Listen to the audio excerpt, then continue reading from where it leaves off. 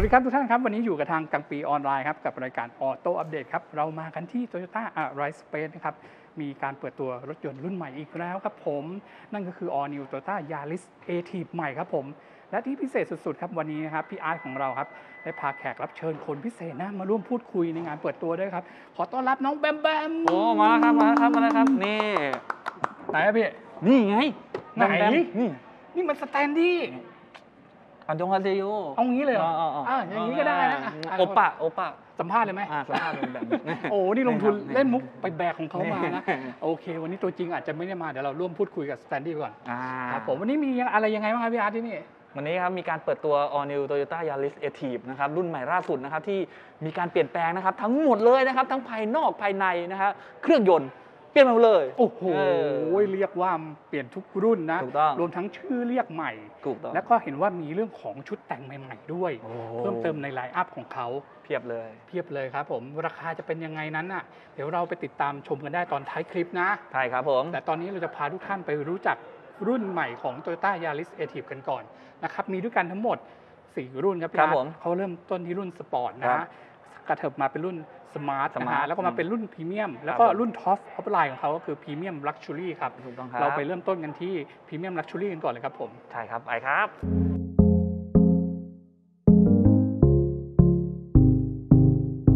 คุณกายฮะตอนนี้ฮะเราอยู่กับเจ้า All New Yaris a t i v นะครับครับตัวผม top สุดนะครับ Premium Luxury นะฮะจะเห็นได้ว่านะครับเพื่อนๆเพื่อนๆหลายจะเห็นแล้ว นะฮะว่ามันเปลี่ยนแปลงทั้งหมดเลย โอ้โห เปลี่ยนแปลงในระดับครับผมที่ว่านี่คือโมเดลใหม่เลยนะขครัอบงเจ้ายาริสอย่างที่ทราบกันเขาเป็นอีโคคาร์ซีดานครับสี่ประตูนะครับ ซึ่งมีการเปลี่ยนแปลงหลาย ๆ จุดใช่ตอนนี้เราเริ่มกันที่ภายนอกครับพี่ครัอาบร์ตผมคือก่อนที่เราจะเจาะรายละเอียดอืมผมพูดให้ฟังก่อนแล้วกัน ในส่วนของมิติรถครับหลายคนก็อาจจะเอาไปเทียบกับตัวเก่าครับซึ่งตรงนี้ก็ต้องบอกว่าทั้งเรื่องของความกว้าง ความยาว ความสูงของรถต่าง ๆ มีการขยาย เพิ่มเติมเรื่องมิติรถมากขึ้นครับกว่าเดิม โดยเฉพาะเรื่องของ ground clearance ครับความสูงจากพื้นถนนเนี่ยครับโอ้โหสูงจากเดิมเกือบ30มิลเลยนะครับพี่อาร์ตมากจริงๆ แล้วก็เรื่องของรัศมีวงเลี้ยวก็รู้สึกว่าจะแคบลงด้วยใช่ครับผมต้องบอกอย่างนี้ครับว่ารถเจ้า All New Yaris a t i v คันเนี้ยนะครับครับ มีการพัฒนาจาก Daihatsu อืมนะครับไม่ได้ใช้ของของโตโยต้าใช้ Daihatsu พัฒนาขึ้นครับผมนะครับผมคืออย่างนี้เดี๋ยวผมเสริมพี่อาร์ตอะเนาะก็คือเรื่องของแพลตฟอร์มใช่นะครับก็คือตัวโครงสร้างของรถเนี่ยใช่มีการใช้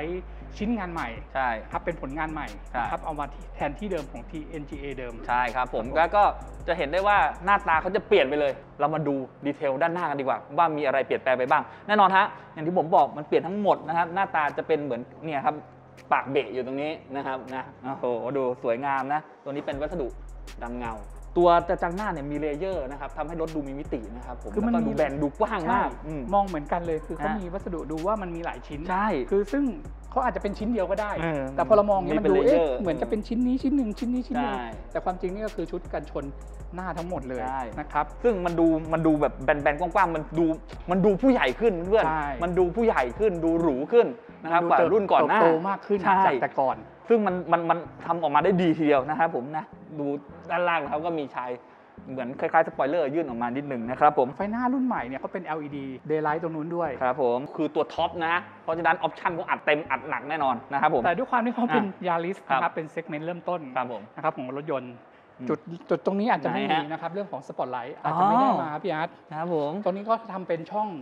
ดักอากาศแทนแบบ sport sport แต่มันซิ่งๆดำเงามันเท่มันมันซิ่งนะดูดิอันนี้ไม่ได้ทำหรอกนะครับดูดิเพราะว่าเนี่ยมือแหย่ไม่ได้เนี่ยๆผผมมมืลองอดูแหย่แล้วไม่พี่ได้อาร์ตเนี่ยลมเนี่ยมันสามารถเออผ่านออกมาใช่ในซุ้มล้อได้ด้วยใช่แล้วก็มีกล้องอยู่ตรงหน้ารถนะครับผมก่อนที่เราจะไปรายละเอียดตรงอื่นพี่อาร์ตนะสังเกตสีไหมยังไงฮะสีตัวนี้ก็ไม่ธรรมดาเหมือนกันโอ้โหเป็นขาวมุกเห็นไหมเกล็ดเกล็ดเกล็ดเกล็ดเกล็ดสวยนะ คือมีความผู้ใหญ่มากขึ้นกว่าเดิมจริงๆฮะถูกต้องครับเดี๋ยวเราไปผมดูด้านข้างกันว่ามีอะไรเปลี่ยนแปลงบ้างครับไปครับ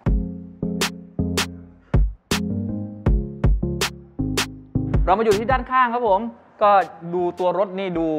ยาวขึ้นแล้วดูโอ้โหดูหรูหราเนาะคือผมมองข้างๆเนี่ยมันดูว่าไม่ได้เป็นรถเล็กเลยนะ ใช่ มันดูสุขุมนุ่มลึกมากขึ้นใช่คือมันมันดูแล้วไม่เป็น eco car เลยครับพี่อาร์ตครับด้วยเส้นสายนะที่เขาลากใช่จากด้านหน้านะมาด้านหลังเลยนะคือแบบคือเส้นนี้แบบ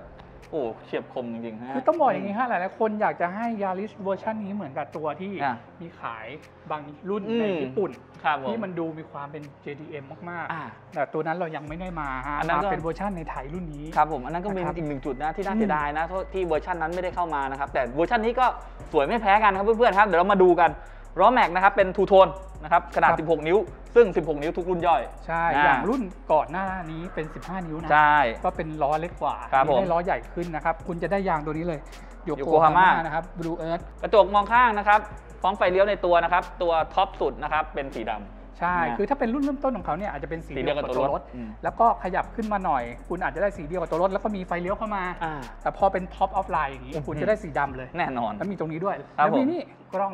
เอ้าเอ้าเอ้าไว้มองรอบคันเอ้าถูกเขาไม่ได้เรียก 360 นะเขาเรียกอะไรฮะ panoramic panorama โอ้โนยรามาโอ้โหคำคำเรียกมันสุยุดบยอดยักไปหมดเลยพี่อาร์ตตัวนี้เรื่องของเซนเซอร์เนี่ยครัเขาบผมมีให้ทั้งด้านหน้าและด้านหลังครับเราจะเห็นว่าเขาต้องใส่เรื่องของความหรูหราเข้าไปเห็นครับแถบตรงนี้ไหมอ่าปกติสันเหลี่ยมตรงเนี้ยยางเนี้ยบางรุ่นพอเป็นอีโคคาร์เนี่ยเขาจะเป็นให้เป็นยางยางสีดำใช่ อันนี้เป็นโครเมียมมาๆโครเมียมมาเลยครับ จัดมาให้ครับ เพิ่มความ luxury ให้กับตัวรถนะครับผมเอ้ย กระจกมองข้างเขามี blind spot ด้วยนะเนี่ยมือเปิดสีเดียวกับตัวรถถูกต้องครับ ได้มาเหมือนกันอ่า shark fin ได้มาด้วยนะฮะโอ้โหด้านนี่ข้างก็มีประมาณนี้พี่อาร์ตผมชอบตรงนี้ฮะดูแล้วก็มีกระจกตรงนี้ทำให้ใช่รถดูโปร่งนะครับอืมดูโปร่งมากยิ่งขึ้นโอ้ภายในต้องโปร่งมากแน่ๆเลยนะครับเพราะเขามีกระจกอยู่ตรงนี้นะ นะครับดิสสี่อ่าล้อใส่ครับมาผมครบโอ้ทุกดิสย่างสี่ล้อใช่ครับโอ้คือรุ่นเก่าไม่อาจมีจะมีนะบางรุ่นที่เป็นรัมเออกับดิสแต่เออตัวนี้ตัวท็อปตัวนี้เราได้ดิสสี่เลยเห็นไหมอ่าเป็นไง สวยจบครบอ้านะวอ้าวเอามาดูที่ด้านหลังดีกว่าครับผมเฮ้ยไฟเลี้ยวสวยว่ะคือมันดูแบบอืมเหมือนอันสติทลอดยอดส่วนลงมาเออถูกนะฮะถูกถูกคล้ายๆไหมอ่าใช่คล้ายมันดูหรูขึ้นมากเลยนะครับผมไไม่เว้นแต่ด้านหลังนะอ่าเห็นไหมเรื่องของการใช้โครเมียม การชุดกันชนที่มีเรื่องของ layer อย่างที่บอกมีสีดำเงาที่เป็นคิ้ว อะตรงนี้เป็นด้านล่างนี่มีตรงนี้ด้วย อ่า ตัวนี้ก็รับเหมือนด้านหน้าเลยรับกับด้านหน้า ใช่รับกันเลยเหมือนช่องระบายแต่ว่าตัวนี้ไม่ได้ระบายอะไร อ่า คือเป็นวัสดุตกแต่งนี่ใส่ diffuser มาให้ด้วยนะเนี่ย ใช่ครับดิฟฟิผวมเซอร์วัสดุดำเงานะ อืมตัวนี้นะฮะ แล้วก็มีเซ็นเซอร์หลังนะครับ 4 จุดนะครับ ผมชอบไฟท้ายเพราะอะไรรู้ป่ะอ่าเป็นเส้นมาเลยพี่ ตัวนี้สวยเลย อ่าครับผมอืมเขาใช้วัสดุดำเงานะ อืม มาตัดกับ มาเชื่อมไฟสองฝั่งให้เข้าหากันนะครับ อันนี้มันดูเรียบหรูไปเลยนะครับ ดูดูเท่มากตรงนี้นะครับ ที่ทำตรงนี้ขึ้นมานะฮะเดี๋ยวผมเสริมให้นะนะก่อนที่จะเข้าไปข้างในเมื่อกี้บอกแล้วว่ามันมีเซ็นเซอร์ใช่ข้างหน้าเขามี 2 จุดใช่ไหมอ่าแต่ด้านหลังข้างหลังมีสี่ให้มาถึง 4 จุดเลยครันะบผมเยอะจริงๆฮะถูกเดี๋ยวเราต้องไปดูภายในกันดีกว่าครับผมไปครับ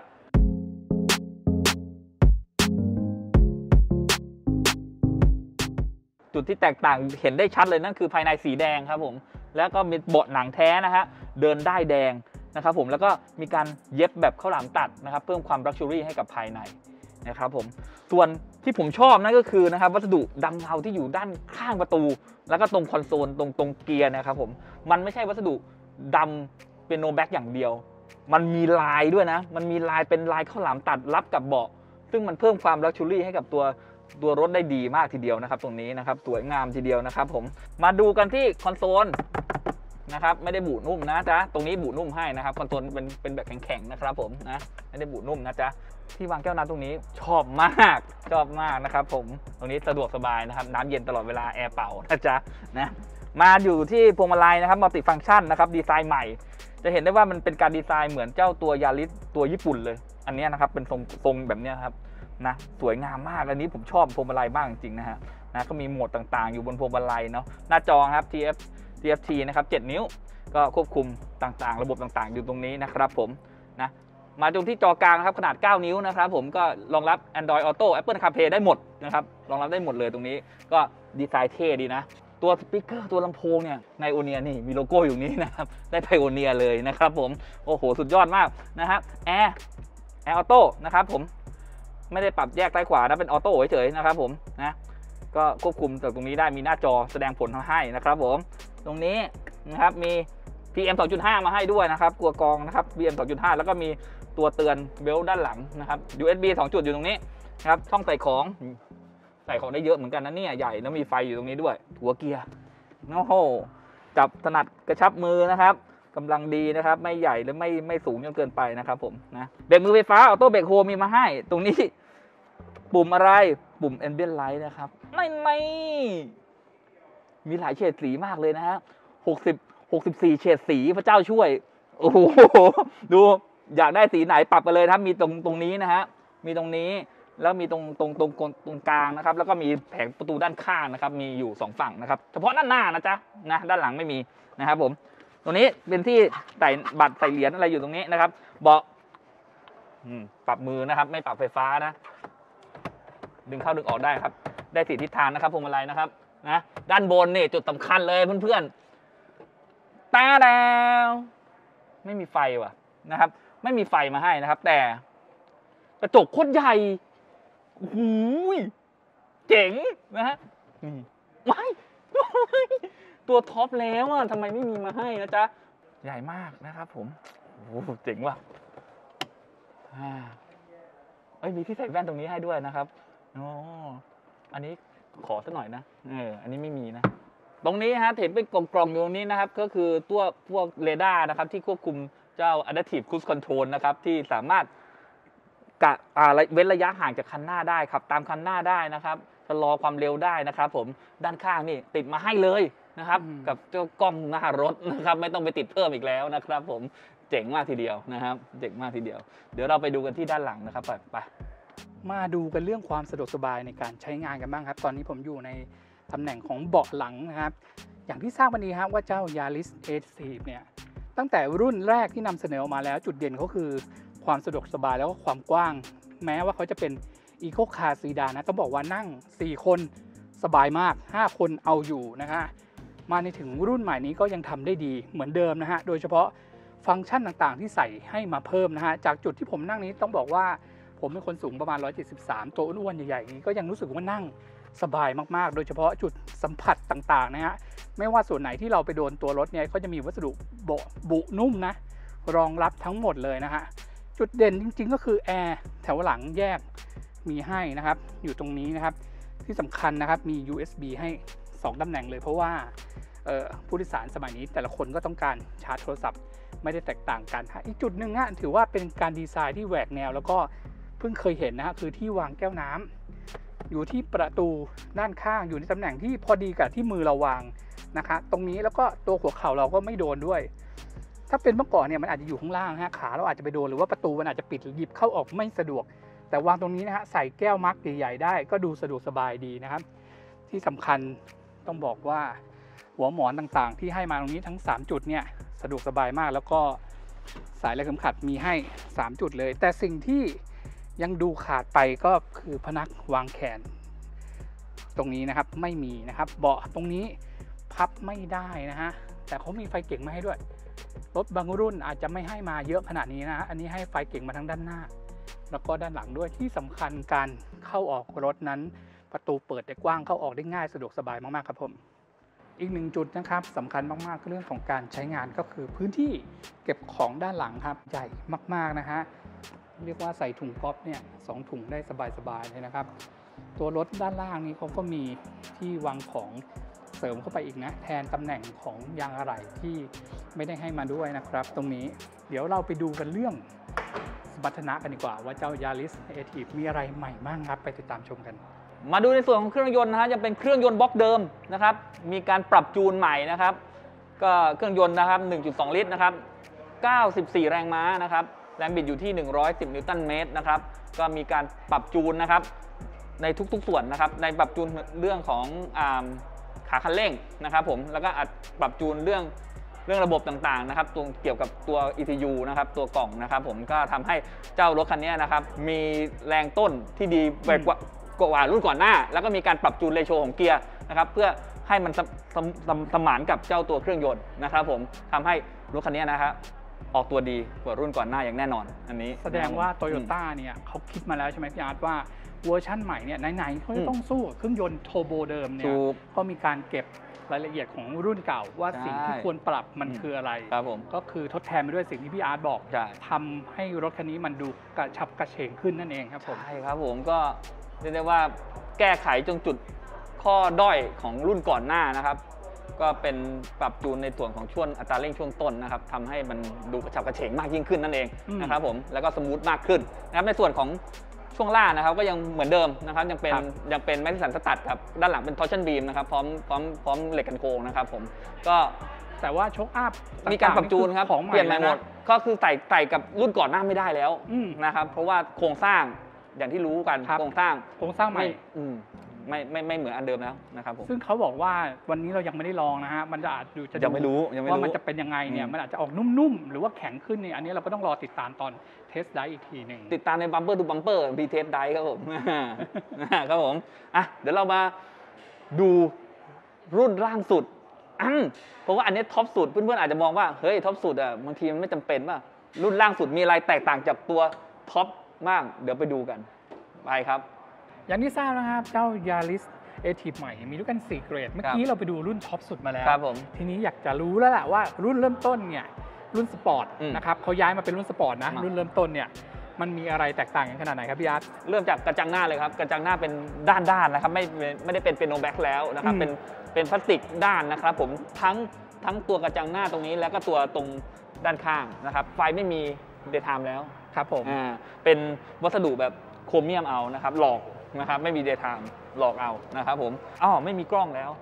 กล้องสามสามร้อยหกสิบไม่มีเซนเซอร์อะไรก็จะหายไปไม่มีหมดเลยถูกต้องไหมหมดเลย ผมเข้าใจอย่างนี้อืมถูกต้องไหมอาร์ตคือรูปทรงรถอืมภายนอกเนี่ยเขาพยายามทำให้มันดูเหมือนกันหมดว่าเลยไม่ต่างกันมากถูกจะต่างกันแค่เอ่อเรื่องของวัสดุใช่แล้วก็ลวดลายต่างๆถูกต้องที่อาจจะมีลดทอนกันบ้างถูกต้องแต่ถ้าขับผ่านๆเนี่ยแทบจะเหมือนกันเนี่ยใช่ทุกรุ่น รู้จุดด้านหน้ากันมาแล้วครับเรามาดูที่ด้านข้างนะครับว่ามีอะไรเปลี่ยนแปลงไปบ้างครับคุณกายครับนะผมนะก็อุ้ย